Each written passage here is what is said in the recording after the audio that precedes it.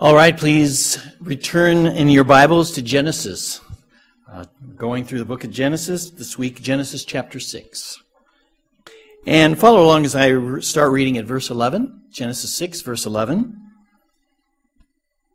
Now the earth was corrupt in the sight of God, and the earth was filled with violence. And God looked on the earth, and behold, it was corrupt, for all flesh had corrupted their way on the earth. Then God said to Noah, The end of all flesh has come before me, for the earth is filled with violence because of them. And behold, I am about to destroy them with the earth. All right, we'll stop there. How many of you remember the first time you ever heard the story of Noah's Ark? Do you remember the first time? If you're like me, you know, you don't remember the first time you heard your name, and you don't remember the f- first time you heard Noah's Ark because you've known it all your life, right? It's probably one of the stories that is most well known about the Bible.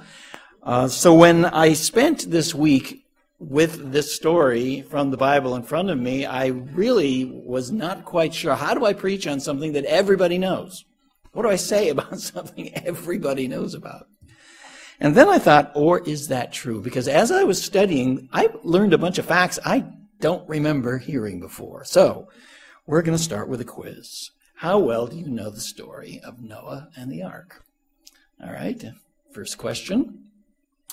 How many different Noahs are there in the Bible? How many different Noahs are there in the Bible? I did not know this. There are more, is more than one person named Noah in the Bible. Did you know that? Anybody else not know that? I did not know that. If you look up Joshua 17:3, there was a man named Zelophehad who had five daughters, and one of them's name is Noah. So now, see, you did learn something today. Uh, how about this one? How long did Noah live? How long did Noah live? Anybody? Anybody?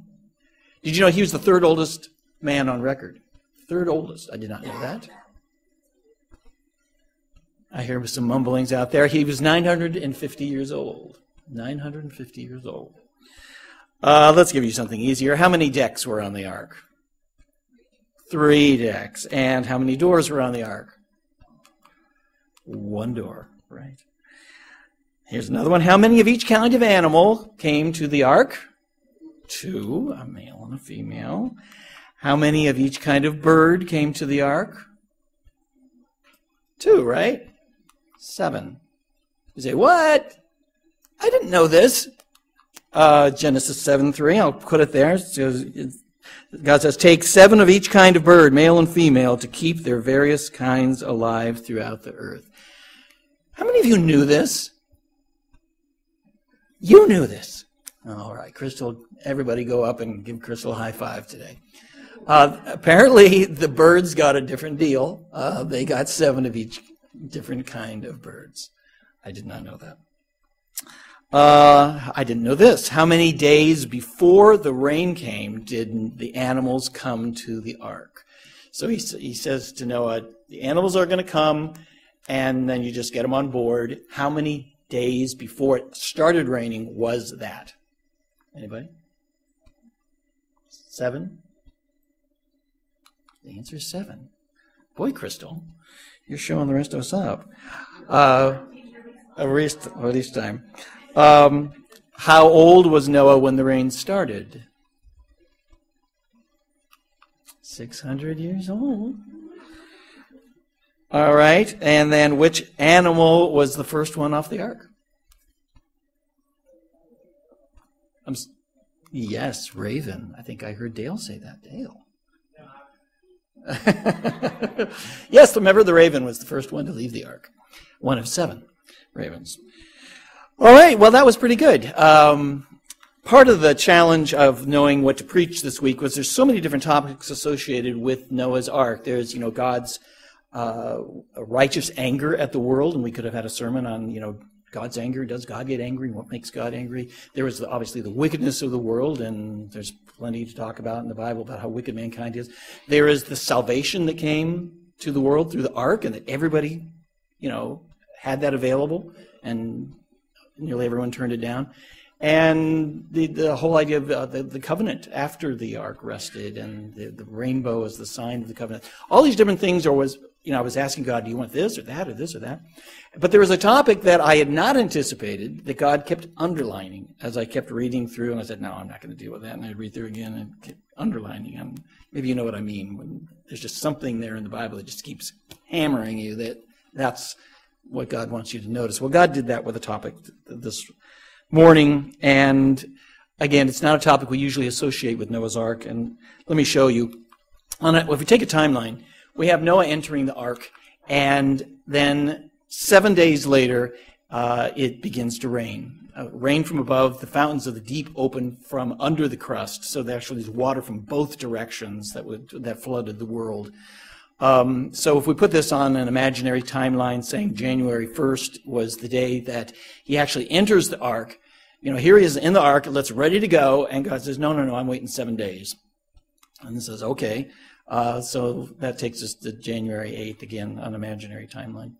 Um, 40 days later, you know, it's been raining for 40 days, the rain stops, and the waters uh, just sit there covering the highest mountains on the earth. There's nothing showing on the earth, and that takes us down to the middle of February.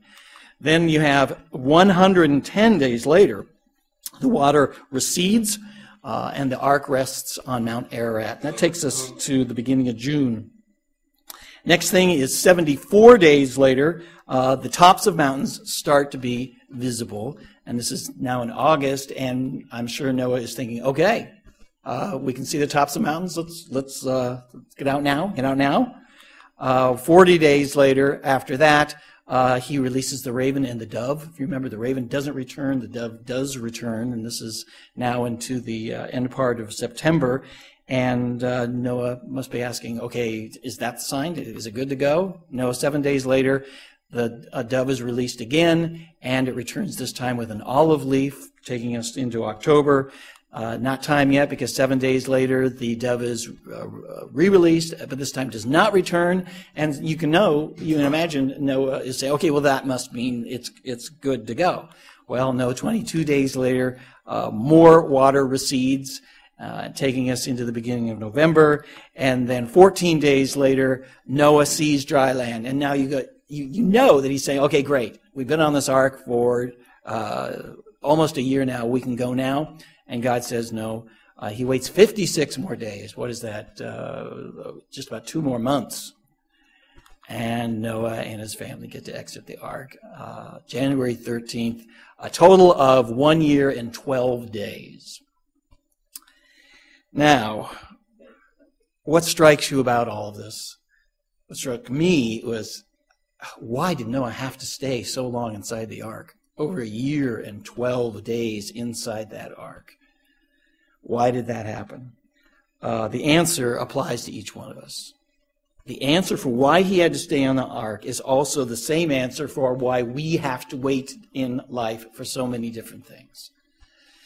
Are you waiting for anything this morning? More than likely, every single one of us is waiting for something that's going on in our life. Maybe it's a health condition that you're just waiting to get over, or it's a job problem that you're waiting for to get over, or a, a person problem, a difficult person in your life, and you're waiting and you're waiting and waiting. And why do I have to wait like this? Well, that's what we're going to learn about this morning. Two lessons on why we often need to wait from the story of Noah's Ark.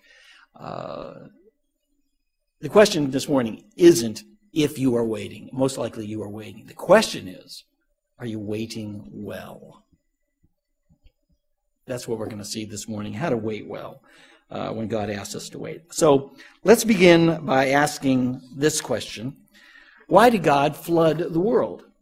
And you say, well, it's really easy. We just read in verse 12 there God flooded the world because people were wicked and he needed to cleanse the world. But that's not what I mean. Why did God flood the world?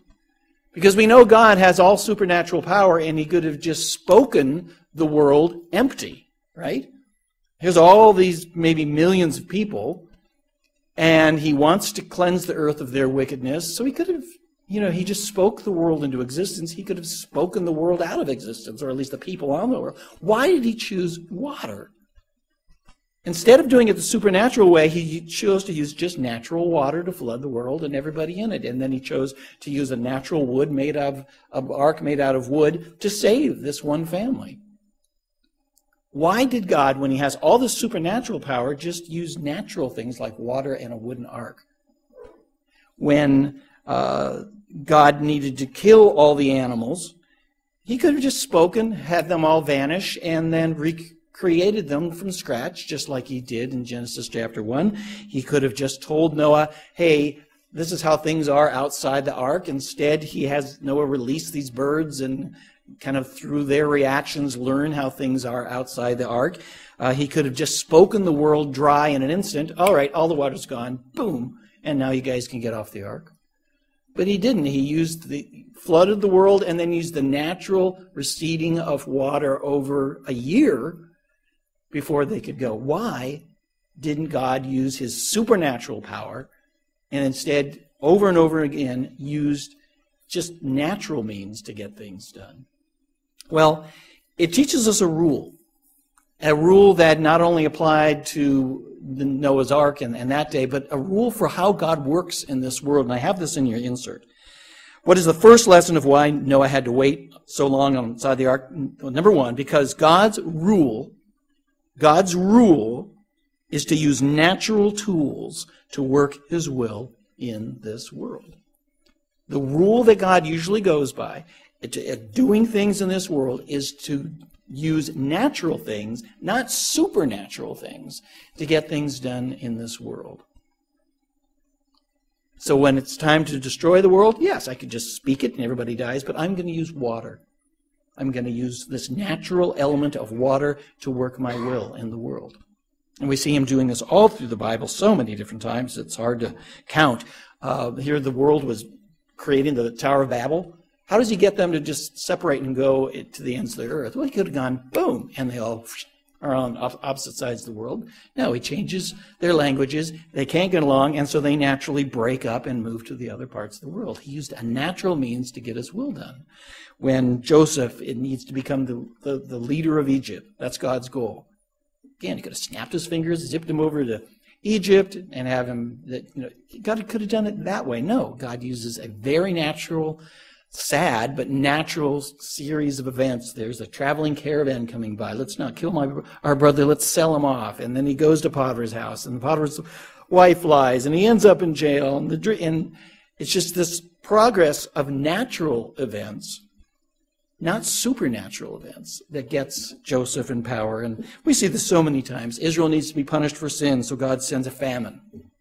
God sends on another occasion wild animals to hurt Israelites. On another occasion, he uses a disease or armies to punish them. In the book of Revelation, we read how God is going to punish the world then. And it's all sorts of things war and famine and wild animals and earthquakes and asteroids and hailstorms and fire, ultimately fire, to destroy the world. So, God has a rule that he's following here, not an unbreakable rule, because sometimes he does do miraculous things.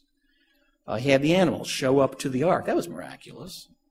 Uh, he spoke directly to Noah, and Noah hears this voice. I don't know if he saw a, a, a, figure or we don't know, but that was supernatural. But when you take all the different things that happened during the story of Noah, the great part of them are natural tools that God uses to get things done. And that explains why Noah was on the ark so long. Why did Noah have to be on that ark so, long? Because God used the natural tool of water to flood the world, and along with that came the natural receding of the water that took time, time, time, a year's time to return to its normal levels before they could get out. So that's why he was inside so often, so long, because God was using natural tools to get his work done. Now, how does that help you and me today? We're living a lot later in the history of the world. That knowledge can really help you and me. Suppose you go into the hospital today and someone else in the congregation goes into the hospital today, and you're both in the hospital at the same time. All these prayers are going up for you to be healed, for you to be strengthened, just like we prayed this morning for each other. Um, how is that going to make a difference in your life uh, when that happens? um, you are going to. Uh, everybody's praying. Now imagine this other person over here starts getting better. And they get better and they get better. The doctors say, This is miraculous. We've never seen this person. People get better like this. And everyone praises God. And you, on the other hand, are just remaining the same. You're not getting better. Uh, in fact, you have some complications, you start to get worse. Um, really, that, that can crush a person. It could crush you if you uh, feel that, well, uh, apparently God uh, is doing miraculous things in their life. They're not doing miraculous things in my life. And so that means uh, I must be doing something wrong. This person's doing something right. And it crushes you. This knowledge here tells us that no. Just because has God, God works things in a natural way, works your healing in a natural way, doesn't mean that you have failed. That's the way God normally works in this world. God normally works in this world at a natural speed. The person who's healed miraculously, that's an exception to God's work in this world. It's a wonderful thing, praise God. But if you are healing at a natural way, also realize that's just as much as God's work. In fact, it's how He does most of His work in this world in a natural way. And so don't beat yourself up and feel like somehow you're a failure and they're this great Christian who, you know, is seeing miracles and you're just seeing ordinary stuff. That's how this can, the, the, the knowledge of this can really help us. God uses natural tools. Miracles are what we call the exceptions to this rule. God's rules to use natural things. The opposite is miracles. Miracles. Um, have you ever been reading the Bible and wondered why we don't see the miracles that they had in the Bible in our lives, in our churches here today?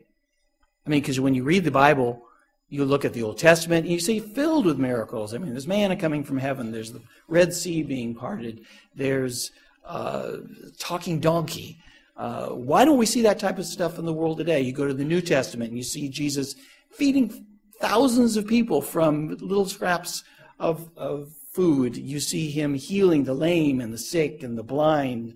Uh, you see Jesus walking on water and turning water into wine.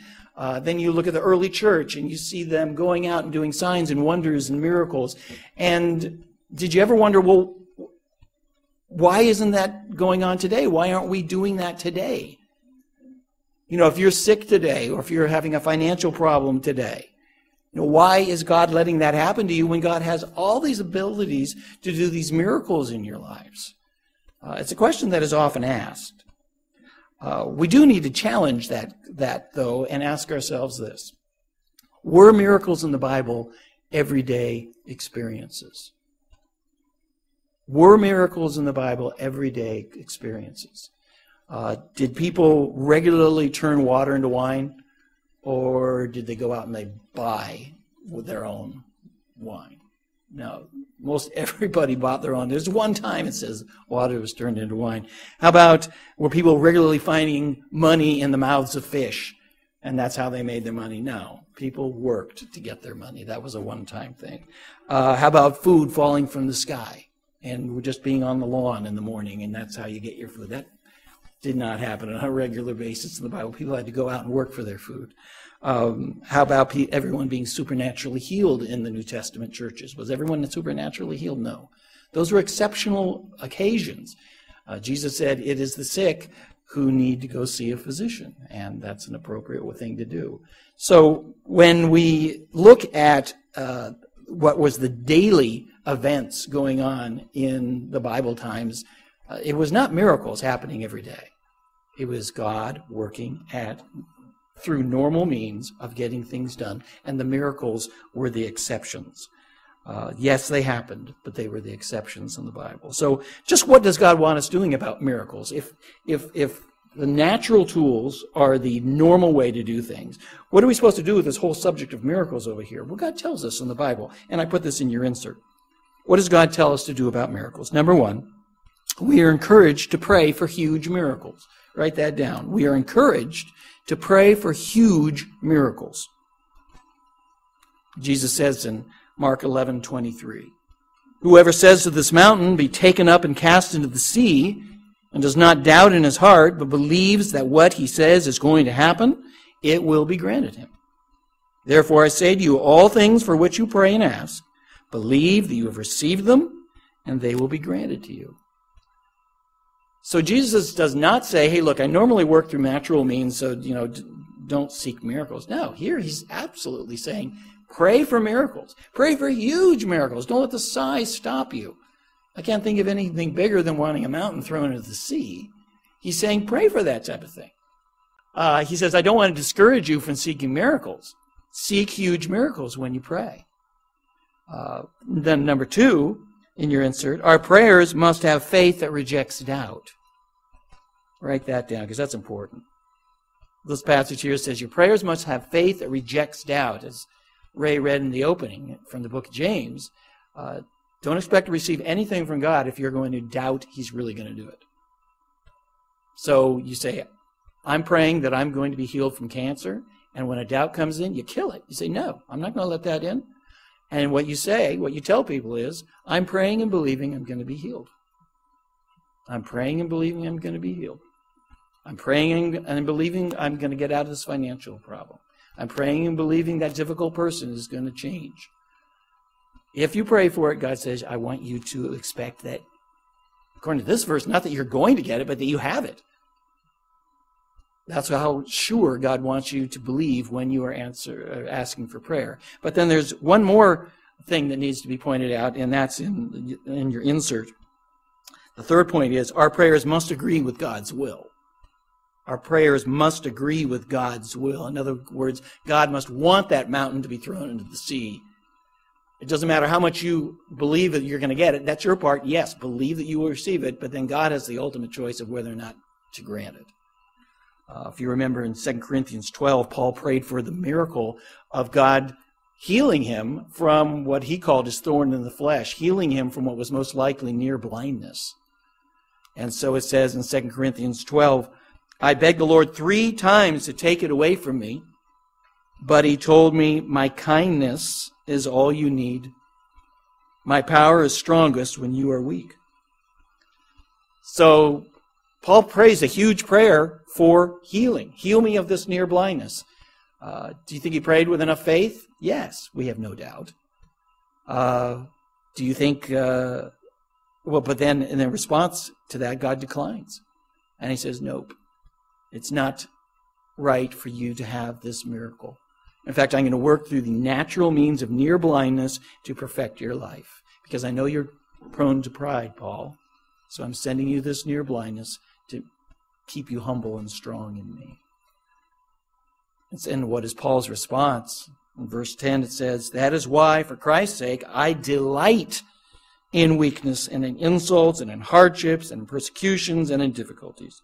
For when I am weak, then I am strong. So, what does God tell us to do about miracles? It's not the normal way He works, but He does work that way. So, number one, pray for miracles. Pray for huge miracles in our lives. We've done that this morning, and, and as we pray for the different people that were sick in our church. But number two, uh, remember to pray with faith that rejects doubt. Kill that doubt when it creeps in, and it will. Just kill it. Say, I reject this doubt. I'm going to believe God's going to do it. And then number three, do what Paul did that if your miracles decline, rejoice anyway. Rejoice in God's wisdom. Because God's wisdom said, no, that miracle is not the best thing for you. Struggling at a natural pace is what's good for you right now. That's the way God normally works, is through the natural pace of life, not the miraculous pace. And when He turns it down, don't get discouraged. And that means you do not need to worry if you don't see miracles in your life. I know you'll turn on the TV or the radio and you'll hear people say, look, you should be experiencing miracles every day in your life. Is that what the New Testament says? I don't find that written anywhere in the New Testament. They happen, but they're not daily occurrences. You do not need to worry if miracles are not happening on a daily basis. Praise God if they are. But don't look at yourself and say, well, they're not happening. I must be living, a, you know, a, a, a wrong Christian life. No. God's rule is to work through natural processes to per- prefer natural processes as he works through our lives. So if you're in the hospital and you're not being experiencing healing the same way another Christian is, don't worry about it. God is at work in your life in a natural way. Yes, ask yourself, am I doing something wrong? Am I having lack of faith? Have I got some sin you're disciplining me for and trying to get my attention about? But if you deal with those and you say, no, I'm, I'm behaving the way I, I know I should, well, then just relax and let God work his processes. Uh, was Job out of line when God worked through the natural processes he suffered? No, Job was not out of line. Was Paul out of line when he had this near blindness? No, he was not out of line. And so experiencing life at a natural pace does not mean you are out of line either. Search your soul, but if you find that you are doing everything you know God wants you to do, then just be at rest. He's using natural processes instead of miracles, and that's fine. Now, let's return. Why did Noah have to wait so long inside the ark? We said two points. Number one, God's rules to use natural tools instead of supernatural tools in the world, and he chose to use flood, and that also included the receiving of the waters, and that's why Noah had to wait so long. But there was a second reason that Noah had to wait, and it's the same for us in your insert number two, because God uses waiting to perfect our lives. God uses waiting to perfect our lives. It's not usually a line that gets a bunch of amens after you say that, um, but he does, doesn't he? Um, it is important to remember this. Are, are you waiting this morning for something? It's important to remember that waiting is not a waste of time. Isn't that what we normally conclude? You know, you're, you're not healing at the speed you want to heal. It's just I'm my time's being wasted here. Or you know, you got that problem person that's not changing. You got that money problem that's not going away, or you're just standing in line at the bank. This is a, such a waste of time. Or your computer, you know, is, is, is malfunctioning and you're waiting for it to restart. That's a waste of time. Waiting is not a waste of time if you are waiting well. It might be something you might want to put on your fridge. Waiting is not a waste of time if you're waiting well. All right. Yeah, waiting can be a, waiting can be a complete waste of time if you're waiting poorly. What do you tend to do when you're waiting, or at least be tempted to do? We're tempted to complain, right? Why is this stupid person not doing what they're supposed to be doing? Why is that person driving so slowly? Why don't that those employees, you know, speed up and you know why did I have to sit in this drive-through so long? Uh, complaining is a big wrong way to wait. Uh, anger. You know, why doesn't the government change this? Why do we, these politicians? Anger is another way to wait poorly. Depression is another way to wait poorly. You know, just give up. Nothing's going to change. It's always going to be like this. There's no hope for my health. There's no hope for my finances. And you just become depressed. Those are all ways to wait, but they're poor ways to wait. And will you be perfected if you wait that way? No it'll truly be a waste of time. But God says, that's not what I intended for you. I intended to allow this waiting to be an investment of, of time in your life so that you become perfected by it. But that only happens when you wait well. Here, here's Isaiah 41. Uh, talks about the benefits of waiting well. Those who wait on the Lord will find new strength. They will fly high on wings like eagles. They will run and not grow weary. They will walk and not faint. That is what comes to those who wait well. Look at the benefits there. Look at the strength. New strength, flying high, running and walking without weariness. That's what can come if we wait well. But waiting doesn't always feel that way. Look at this says in Psalm 69.3 I am weary with my crying, my throat is parched, my eyes fail while I wait for my God. This is why we hate waiting, because it's painful. And it's easy to respond the wrong way when you're in pain. But God says, in spite of your pain and waiting, respond the right way and you will gain strength and be perfected. So let's look at four ways to wait well. Philippians 4 6 says, Never worry about anything But in every situation, let God know what you need in prayers and requests while giving thanks. And that gives us our first way, which is pray for good. Write that down. The first right way to wait well is pray for good as you're waiting. Pray for good. Waiting poorly worries. Waiting poorly gets angry. Waiting poorly gets depressed. But waiting the right way prays for good to take place. Jesus demonstrated this in the Garden of Gethsemane. He goes out there with his men. He knows what's going to happen. He's going to be betrayed and arrested and, and taken off to a horrible, horrible experience. So he's there in the garden. He knows what's going to happen, he's just waiting for it to happen. And what's he do while he waits? He doesn't just sit back against a tree and sit there worrying about what was coming. He prays. He prays and he prays. And he prays for good. He prays specifically that God would rescue him from having to go to the cross if it's his will. But what did Jesus do? He prayed for good as he was there. And that means when, an, when whatever situation you are in and you find yourself waiting, just make it to the point. Number one, I'm going to pray for good now. You, you need healing? Pray for good. You need money? Pray for money. You need someone to change? Pray for change. You're in the line at the bank and you're waiting? Pray for good. You're waiting for your computer to restart? Pray for good. Wait well. Wait well. Praying for good is the first way. Father, heal this cancer. Father, change that person. Father, bring me the money. Father, start this computer. Whatever it is, pray for good to be able to going on. That's number one. Second way to pray is also found in this verse. Uh, look at Philippians 4 6. It says, Let God know what you need in prayers and requests. That's right. While giving thanks. All right. Number one is pray for good. Number two is thank for good. Thank God for good. Pray that good come, and then thank God that good is coming. Know, what do we normally do? We normally pray, to, you know, we're waiting and we might pray for good. And then what immediately do we do after we pray? Uh, we worry because God may not bring that good. You know, start the computer, get me through this, you know, uh, healing process. We don't know God is going to bring the good. Or do we? What does Romans 8:28 says? 8:28. God causes all things to work together for good to those who love God. If you love God, you know how that's going to end. You know how that waiting is going to end. What lies ahead for this cancer? God says good's coming. What lies ahead for that money problem or that person problem? God says good is coming if you love me. And all this is saying is thank God for the good ahead of time.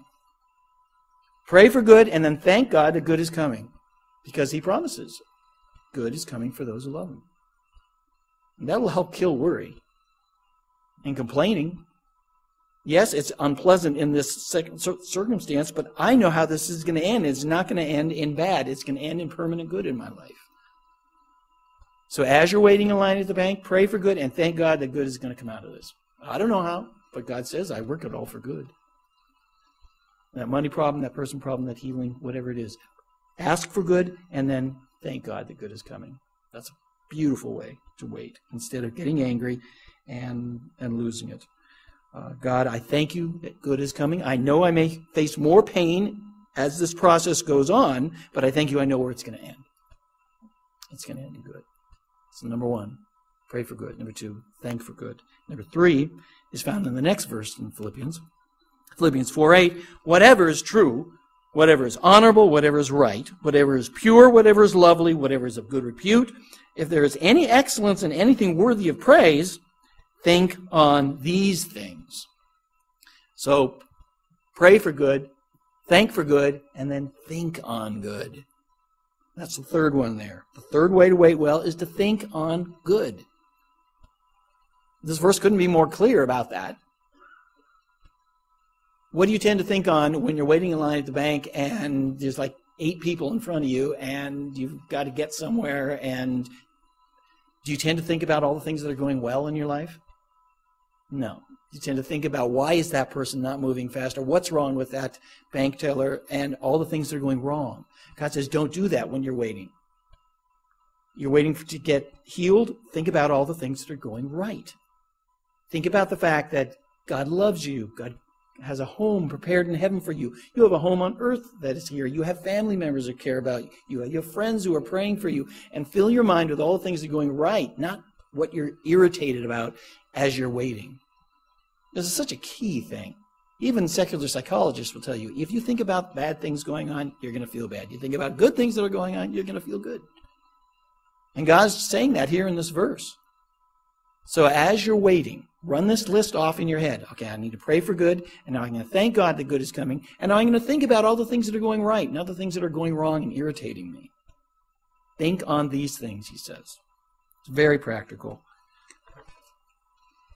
Psalm 103 says, Bless the Lord, O my soul, and forget not all his benefits.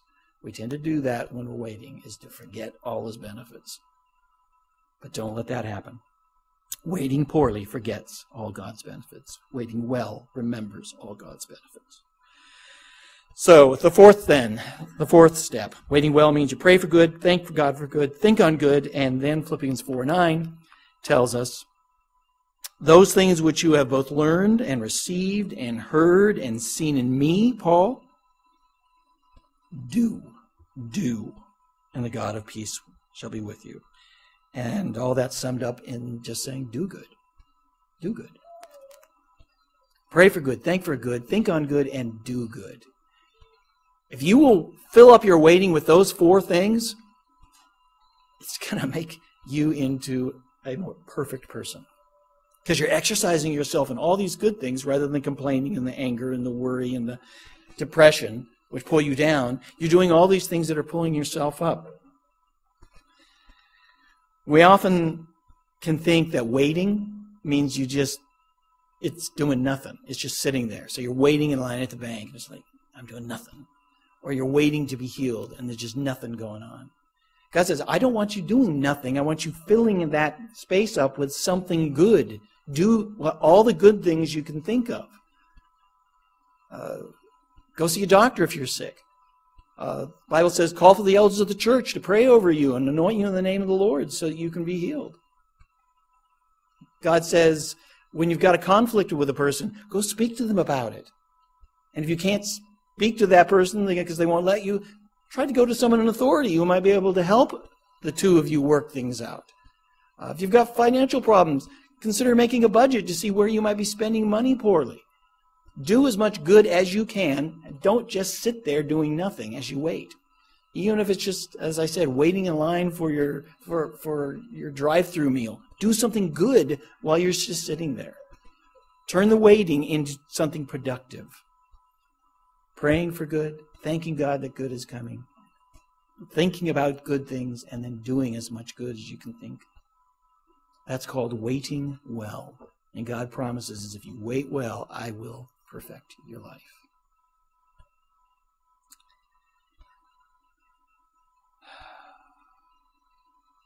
Our question at the beginning was why did Noah have to spend so much time inside the ark? There are two answers that apply to us when we wait today. Number one, God usually uses natural tools to get his work done in this world. Sometimes he does miracles, but the rule that he follows is I'm going to use natural things. For Noah's case, that meant natural flood and the natural receiving, and that's why Noah had to just wait. But number two, God uses waiting to perfect lives. And Noah's life was perfected as he busied himself with the ark and taking care of the animals, take care of his family. You know, if he sat there and he griped and complained and got angry and said, Why am I in this ark so long? He wouldn't be perfected, but if he did the right thing and waited well, he would. And that's what God is saying to you and me this morning. What are you waiting on this morning? Maybe it's multiple things. God says, I will, I have a reason that you're waiting. It's not a waste of time. And I will perfect you if you're waiting well. So, which of those four waiting well steps did you need to hear this morning? Do you need to pray for good in your situation? Then pray. Pray huge things. Pray for miracles. Number two, do you need to thank Him that good is coming? You know the end of the story. You just know how it's going to get there. But you know the end will end in permanent good for you. Thank God ahead of time for that. Number three, are you thinking filling your mind with the things that are going right instead of the things that are going wrong. Be really careful with that. And then number three, are you doing as much good as you can think of? Whatever you can do that's good, do that as you wait. Waiting doesn't mean you just sit there. It means you eh, busy yourself doing good things. Which of those did God need you to hear this morning? Whatever it was, do it. Tell him right now you're going to do those things. There are great things to come to those who wait well. Let me close with this verse Isaiah 64 4. From ancient times, no one has heard, no ear has perceived, no eye has seen any God like you, you who act on behalf of those who wait for him. Whatever you're waiting for on God this morning, don't run ahead of him and don't lag behind. Stay right with him and wait, wait, wait until his perfect timing. Trust in his timing. He's wise and he knows what he's doing. Busy yourself with waiting well, and you will see incredible things happen in your life.